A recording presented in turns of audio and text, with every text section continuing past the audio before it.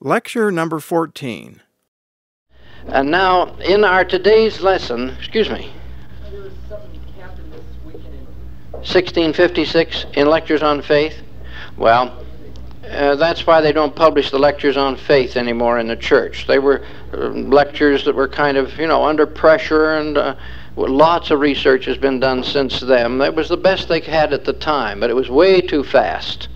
That's not gospel doctrine. The lectures on faith are not to be taken as doctrine. There are lots of mistakes in them.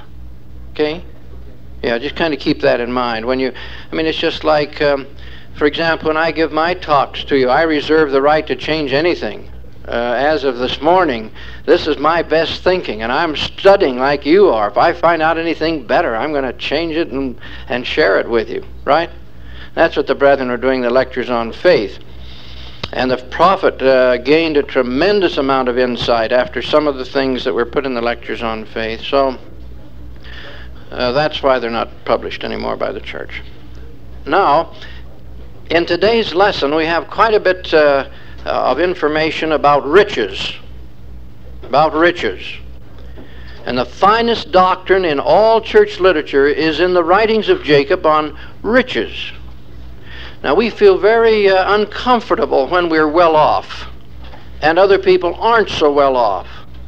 In, in the stratified structure of uh, uh, Europe of the past, uh, it was considered to be perfectly all right if you belonged to the upper class. And the lower class kind of assumed that the upper class was supposed to be rich and they were supposed to be poor. That's not the American approach, it's not the gospel approach. We have to figure out a way to profitably help those who are in need and who don't have equal opportunity. Therefore, the question arises is it a, le- a legitimate function of government? The government has experimented and experimented trying to find out if it can cure poverty. And so the Freemen Report this week is we've now had several years of OEO. Should it be abolished? And here are the people who say yes on this page, eight pages of it. Yes, and then these people say no, the government has a place in poverty. Yes and no. Now, the church has a policy on this, hasn't it? It actually has a doctrine on this subject. But for those of you who are interested, I, I was able to get a few copies.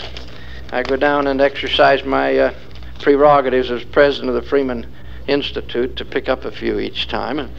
And uh, for those of you who are interested, there it is, pro and con. Just to give you an educated opinion so that you have some idea of what the problems are, both sides definitely something needs to be done about poverty. The question is, what's the best way? What's the best way? And I've been up and down this, the ladder two or three times, one side and then the other. And uh, I know I, I have compassion for the poor. I've been one of them many years of my life.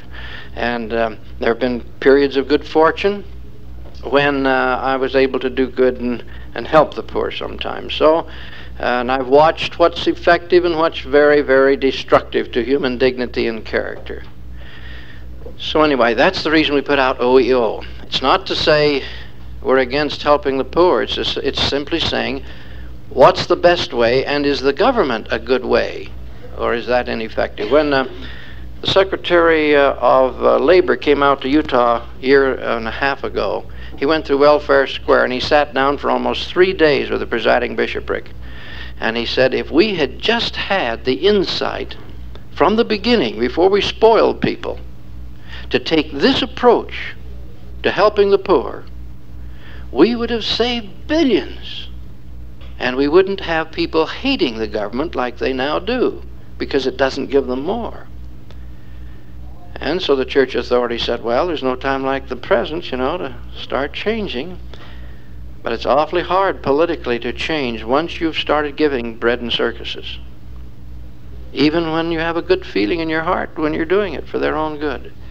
There's a corrupting influence. Well, that's the problems of the Book of Mormon applied to our day. That's what I was trying to do at the Freemen Institute to bring alive gospel principles and concepts in terms of current issues so that we don't dictate to anybody what they should think or believe, but just give them the information so they at least have an intelligent opinion and aren't propagandized and brainwashed by current headlines. Now, this Jacob turns out to be a, a sweet spirit. And of all his brothers, this is the one Nephi loved the most. He had him give sermons in his behalf, he had him explain things from the creation. This man was not only eloquent of tongue, which Nephi was also, but this man was what in writing? Do you notice the difference in style in writing? As he starts talking about, he said, You women, you, you people here who are innocent, you came to be inspired at this conference at the temple. And he said, What I'm going to tell you today will be like daggers in your heart. You remember? So that's Jacob. Nephi would never do that. He has no similes and he doesn't go for metaphors and so. But Jacob, he knows what daggers in the heart are like. So it's, he's a great person. Now, he's going to live at least 100 years. We think he was born about two years after they got out into the wilderness. Um, we're guessing. Uh, but he was uh, the first of the children born out in the wilderness, so we think it's about 598 BC. And um, uh, so he's about 18 years younger than Nephi.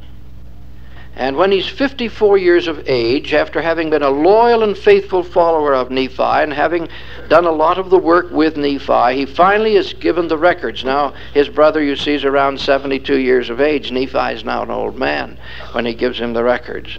And um, Nephi has some instructions. He says, Now, when you write in these small plates, my brother Jacob, when you write in them, I want you to just put in certain things. And if I were you, I'd remember what those certain things were.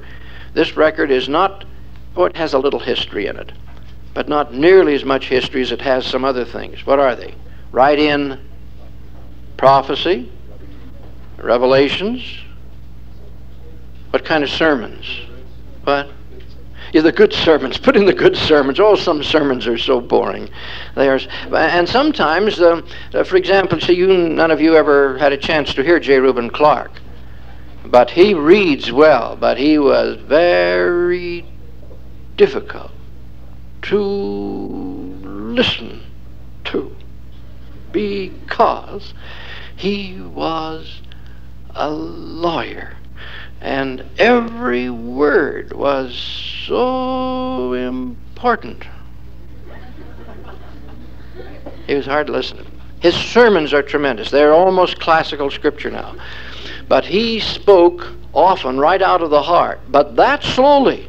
And every word, his brain was taking that word and wringing it out and spreading it out and wringing it out again. Let's see, is that the right word? So he said precisely what he meant. J. Reuben Clark. Now, some others are much more colorful, but when it's all through, all you've heard is a three bear story, right? really wasn't profound. It wasn't.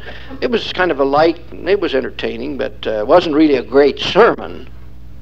But it was good amongst all the others to kind of lighten things up, maybe. Served its purpose. Put in the good sermons. Now, in connection with this, we have a reference to the cross. At this early stage of Nephite history, there was a constant struggle to keep the people from coming out in open defiance against God.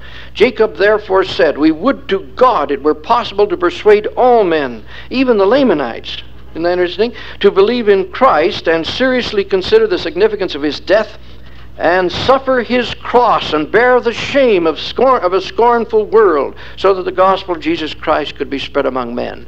Now, early critics of the Book of Mormon said, oh, oh, Joseph Smith flubbed it. He got the cross in there about 600 years too early, or 450 years too early. That was a Roman method of uh, death. Nobody else used it. Were they historically right? Yes. Were they prophetically right? No. Adam knew it. Enoch knew it. Noah knew it. All the ancient prophets knew that Jesus would be crucified on a cross, and now we're finding out with the Dead Sea Scrolls and everything that hundreds of years before Jesus Christ, the cross represented the atoning sacrifice. The cross! And of course, it became then the symbol of the Christian church. Uh, afterwards. In fact, the Catholic fathers carried the cross around the world. See, that became the symbol. It was the symbol before Jesus Christ also. And the Book of Mormon mentioned. The Book of Mormon turns out once again to be right. Not once have they proven it wrong with the passing of time. Always the Book of Mormon comes out to be correct. That's why it's a book for all the world, not just for Mormons, to prove that Jesus is the Christ. Now, Nephi, as he prepared to die, gave the kingdom to whom? Who did he give the kingdom to? Give the kingdom to Jacob? Who did he give it to? His son, what was his name? We don't know what he was born, but they called him once he became king Nephi the second. Nephi the second. Then they'd have Nephi the third, Nephi the fourth, Nephi the fifth. Now, what about the book of Nephi the second, which is going to be clear over um, near the time of Christ? Why have we got a Nephi the second, which is a book, when Nephi the second, the king, is way back here around 550 BC? Are they the same person? Obviously not. Then what's Nephi the second? Any ideas? Good. Yeah, the second Nephi as a prophet is Nephi the second. So he's, a, he's way, way down. He's not a king. So they had nearly 500 years of kings, all called Nephi. Nephi the 28th, Nephi the 22nd. Nothing in this book about those Nephis. Not a thing. When we hit Nephi the second, we're talking about the second great Nephi who was a prophet of God. Everybody got that clear? All right, who got the big plates with all the history in them? Who's going to write that? Nephi the second, the king.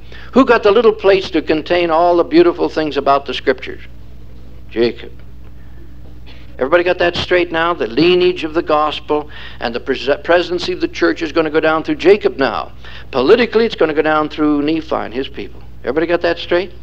All right. Politically, down through Nephi. Spiritually, down through Jacob. Lo and behold, it's going to come together here down a few few generations, they're going to come together again in a direct descendant of Nephi. Jacob's people be kind of wiped out.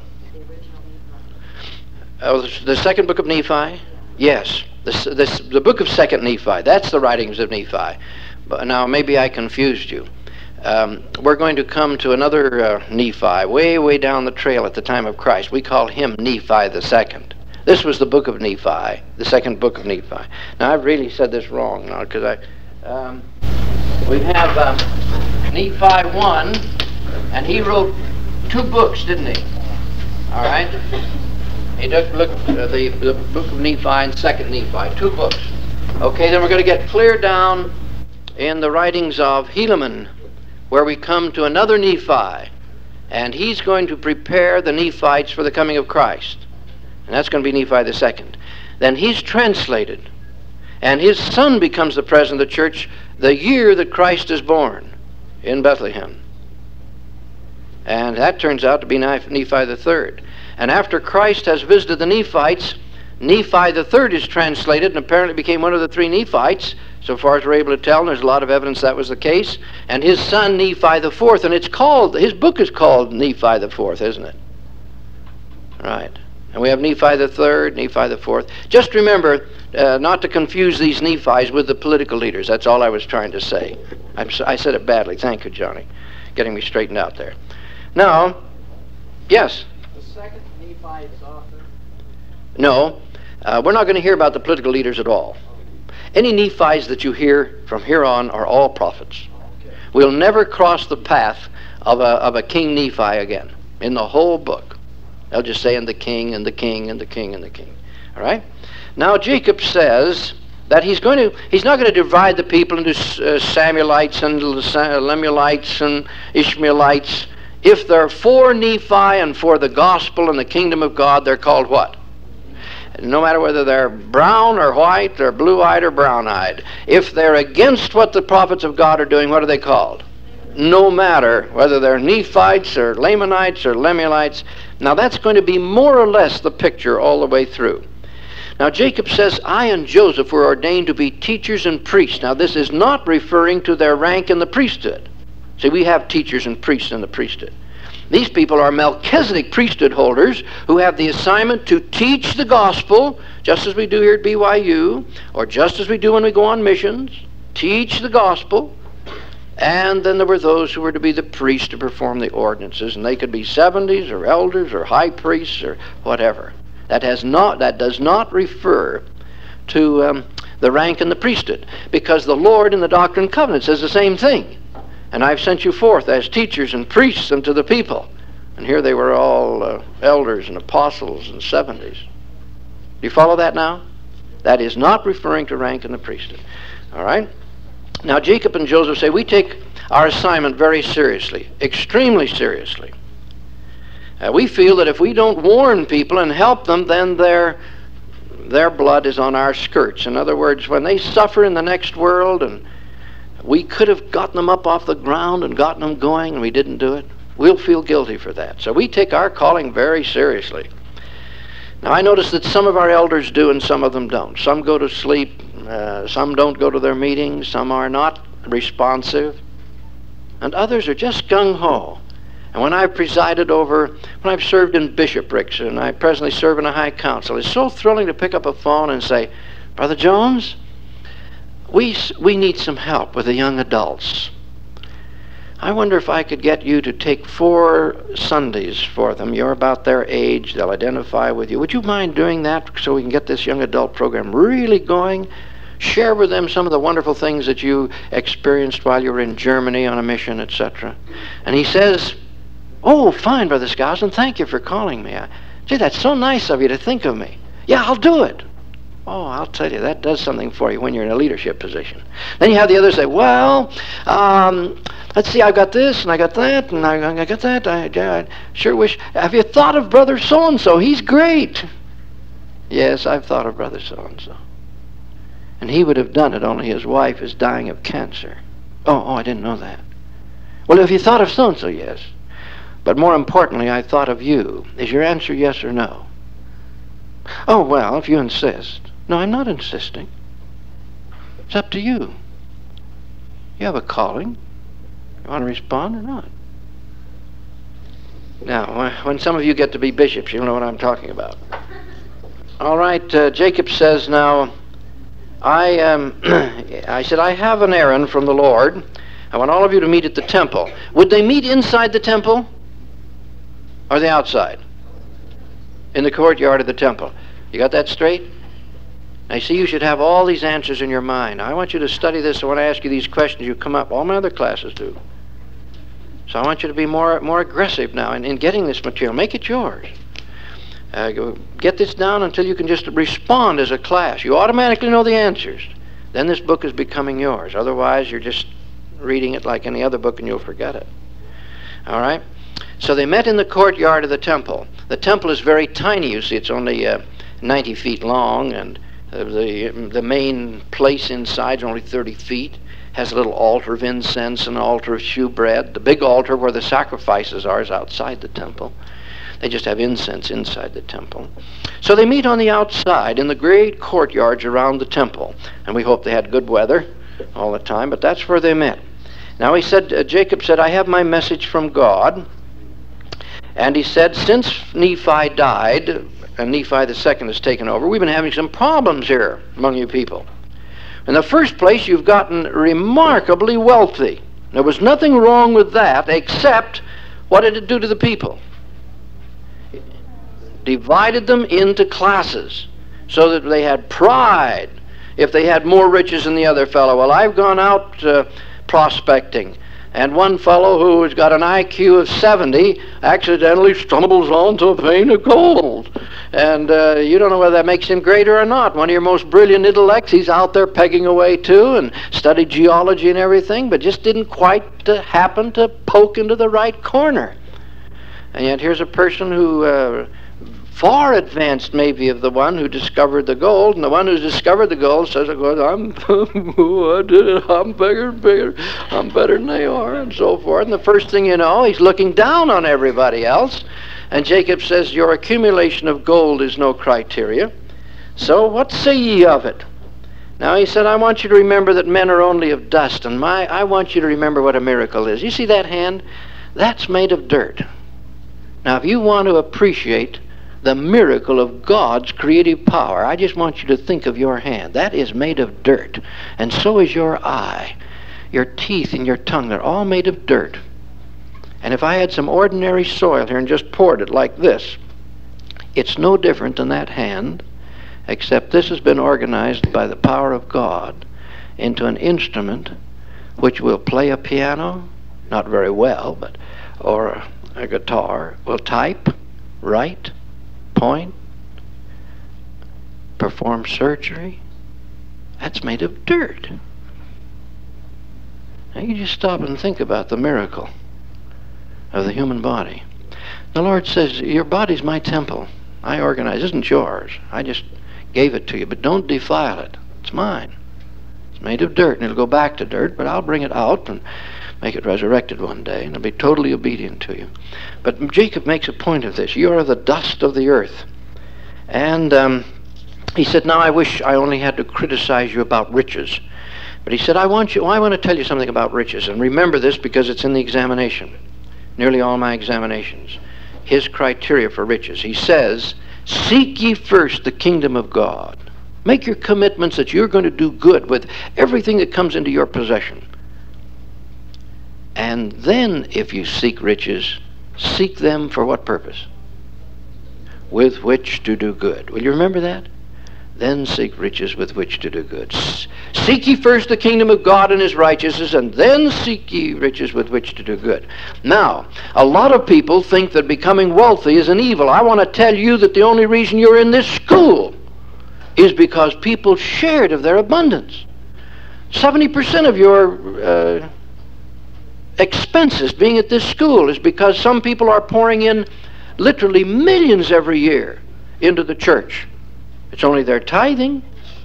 Uh, but when you're operating with millions, I tell you, $2 million seems like an awful lot, and you could build a new factory with it. Now, I, I watch people, um, uh, what shall we say? They're, they're very critical of those who, who've accumulated something. You take a man like Brother Marriott. See, I grew up with Brother Marriott. I watched him start out with a hole in the wall and serve hot dogs and, and, uh, and nice thick malted milks, which nobody in Washington had ever tasted unless they came from the West. The next thing I knew, um, he had a line a half a block long. He went across the bank and he said, uh, Would you look over there? I think I got something. Yeah, the banker says, You must have. He said, I'd like to borrow a little money, please. If I know it's a depression and everything, but I'd like to borrow a little money, have a, a little root beer stand, maybe.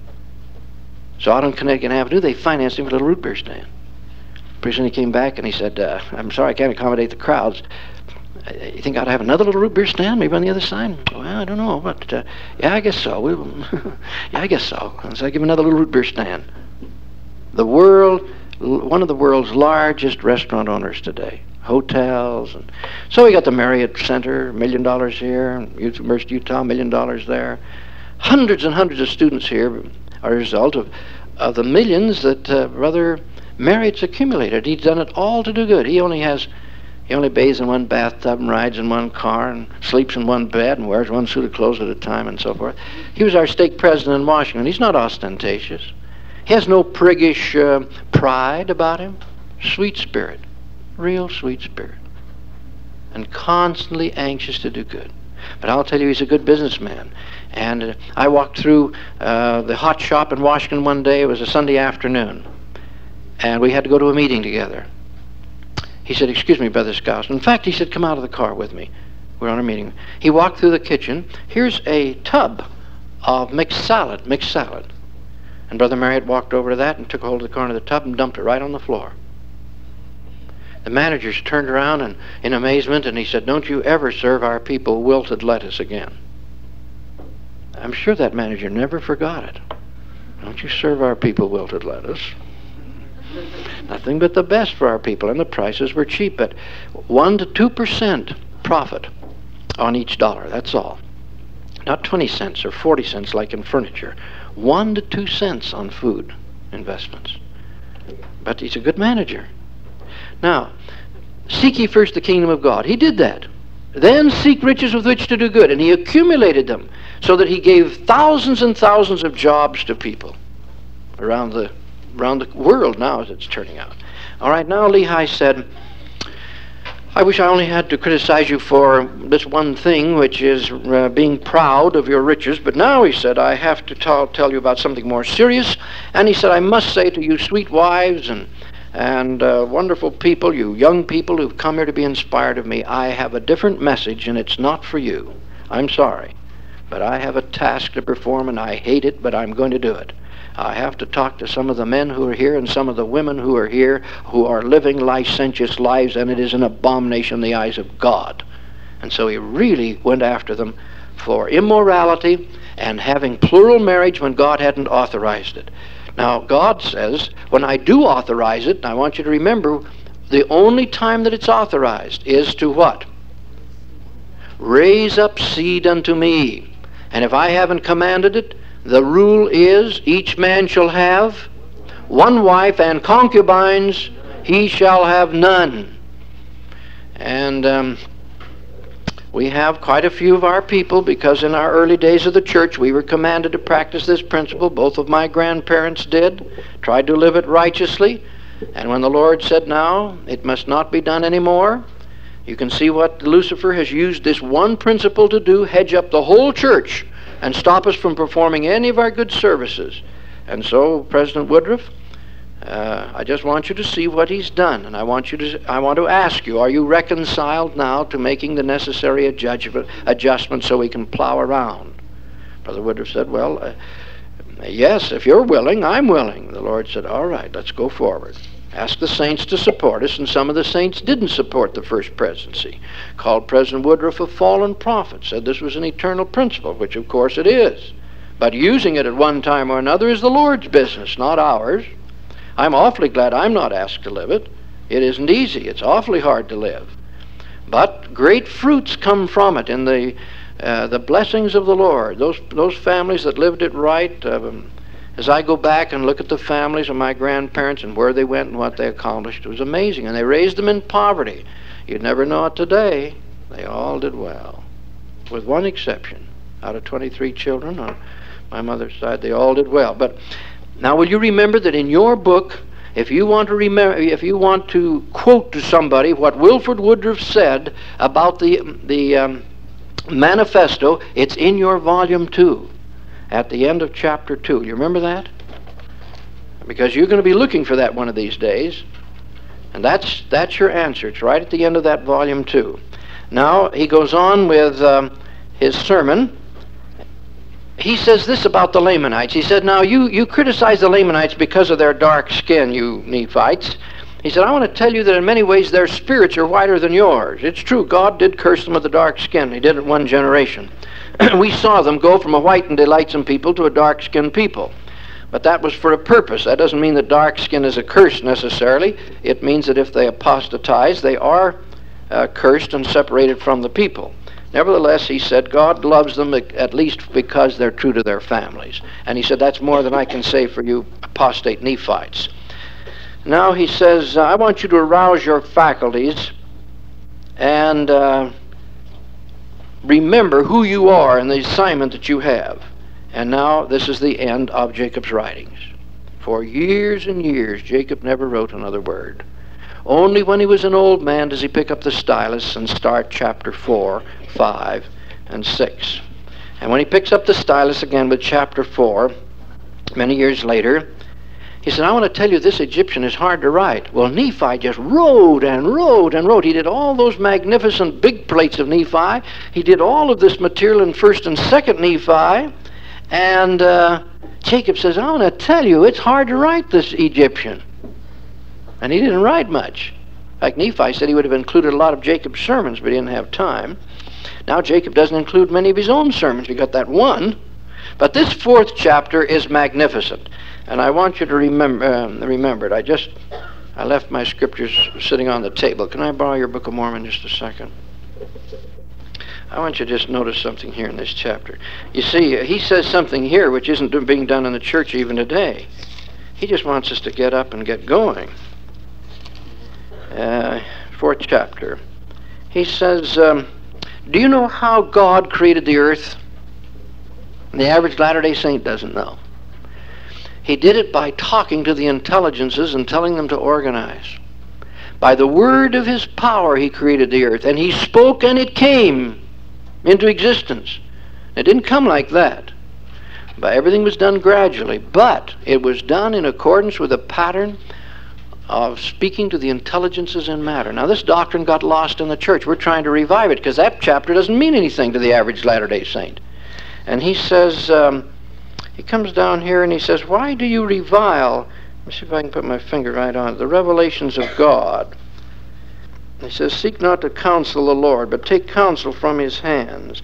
There's a little passage right here closely, which uh, right here near, which says that we're guilty of of actually um, reviling the revelations of God. Despise not the revelations of God, verse 8. And no man knoweth of his ways, save it be revealed unto him. Wherefore, brethren, despise not the revelations of God. Now go over to chapter 12, uh, verse 12. He says, Now, my beloved, marvel not that I tell you these things, for why not speak of the atonement of Christ, and attain to a perfect knowledge of him? And just the other day, someone did this. You see, the Latter day Saints, you ask them why the atonement works. When Jesus suffers on the cross, what does that satisfy? Who does that uh, make happy? Yeah, the Father certainly didn't want that. That's got to be such a terrible suffering that the intelligence say, well, all right, if it means that much to you. And they're all out there in the universe. Now, if you don't understand that, it's impossible to understand the necessity for the atonement. Nor can you understand in um, Alma 42 why God says, if I were not just, I would cease to be God. Now, that certainly was a blasphemous statement to to make why people who believe in the Platonic concept of God, he's the first great cause that created everything out of nothing. God can't cease to be God. God says, I can cease to be God. Said, You don't understand anything about God. And if you don't understand that I have to be perfect, I have to be immaculate, I can't look upon sin with the least degree of allowance. That's why we had to have an atoning sacrifice. And we've got a whole church ignorant of this doctrine. And Jacob says, Why not talk about the atonement? And have a perfect understanding of this wonderful person of Christ. This is how you learn to love Christ and appreciate the Father. Understand that doctrine. And it's in this Book of Mormon. And um, a friend of mine spoke of it recently in a group of uh, missionaries. And the person in charge immediately rose up and said, "Oh, let, let's let's let's let's not talk about the mysteries." When I heard about it, I thought of this: Wherefore despise not the revelations of God. Why is it a mystery? Because, sir, you are presiding over a congregation that you're supposed to teach, and you yourself don't recognize the truth when a servant of God teaches it. And you're reviling the revelations of God, sir, even though you preside over this congregation. You would say it in respect, but this is one place where I get a little uncharitable because my, my generation was guilty of this. And I don't like to see any of your generation guilty of it. Welcome the revelations of God. If there's anything in the Scripture you don't understand, then say to yourself, I'm going to try and understand it. I'm going to pray to my Heavenly Father. I'm going to study hard, see if I can understand that. Jacob says, why not talk about the atonement? Why not come to a perfect understanding of Christ? Why call it a mystery when this book says there was an absolute necessity for the atonement, and this is why there was a necessity. It's all in this book. So, uh, this is a great chapter. Revile not the revelations of God. Now, uh, Jacob hopes his descendants will appreciate their ancestors. He said, We want them to know that we knew about Christ, that we received revelations, that we had the power of the priesthood, we could command the waves of the sea, we could stop the winds, we could move mountains, by the command of the priesthood, obey, these elements obeyed us because of the intelligence in them, and God had authorized us to do these things. I said, We'd just like you to know a few little things about us. He's very humble, you notice, as he get toward the end of his book. He said, We've lived very lonesome, difficult lives. We took the gospel to the Lamanites, they rejected it. They're not going to accept it for about 450 years, then a few of them will start coming in. But prophet after prophet is going to take the gospel of the Lamanites and just about get killed. Now, I put here, now somebody's going to ask you sometime, what about this intelligence business? Never heard of that doctrine before. And you spin over here to chapter 4 of Jacob, where he talks about, it's on page 18. Uh, let's see, no, I don't have the new book. I've got the old one here. Anyway, it's verse uh, 6. And you've got a quotation there from Brigham Young, and it's just one of scores of, of uh, early brethren talking about the intelligences in matter. And here at this late date, along comes Dr. Millikan of Caltech, along comes Dr. Bergson, and um, this uh, the other day here we. Uh, uh, you were kind enough to give me this article. It's tremendously interesting. Scientists being able to say, obviously, there is finite intelligence down there in the molecules. They fool around. They don't they, they show exercise independent capacity. Well, see, we've, we've had this for a hundred and some odd years. We didn't teach it. Don't you think the Lord's unhappy with us for that? Bet He is. People say, I wish we get some more revelations. Okay, just open the book and start reading. It'll reveal all kinds of things to you. And then um, seek not to counsel God, but receive counsel from him that I just read. And notice that everything is done by the power of my word. And he says in the 29th section of the Doctrine and Covenants, it is the honor which the intelligences give me that gives me the power, so that when I speak, they obey. When I speak, they obey. Once you understand this, the miracles make sense, the organization of the earth makes sense, your scriptures come alive. Now, we come to the parable of the olive tree. Actually, this because this is the longest parable or the longest chapter in the Book of Mormon, it is tedious reading unless you know what it's talking about. So I tried to bring it alive a little bit for you. I hope it helped a little so that you'd understand the history. So here is an olive tree. The top of the tree begins to wither. What does that represent?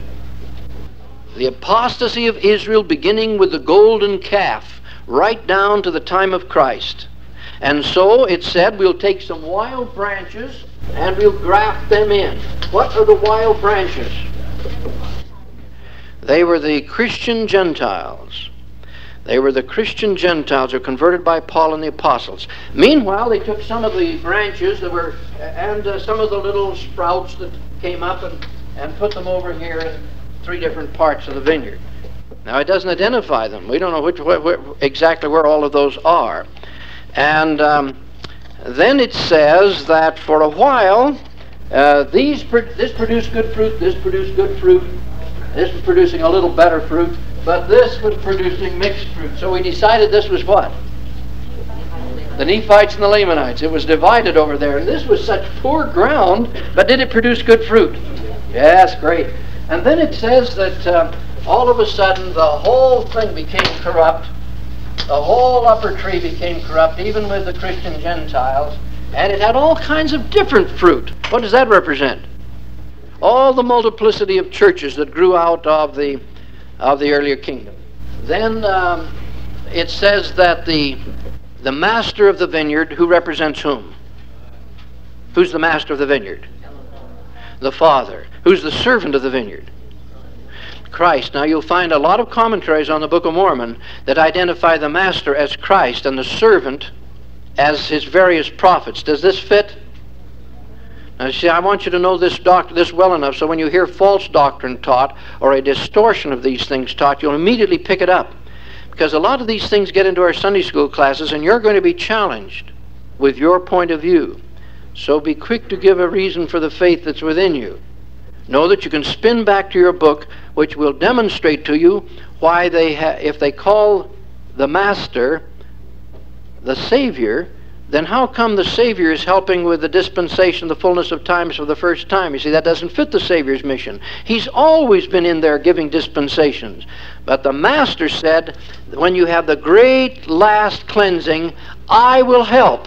For the first time, the Father came onto the earth in connection with the dispensation and helped with this dispensation and said to this boy Joseph, This is my beloved Son, hear him. Now, see, that, that that's the, one of the main clues that this is talking about the Father.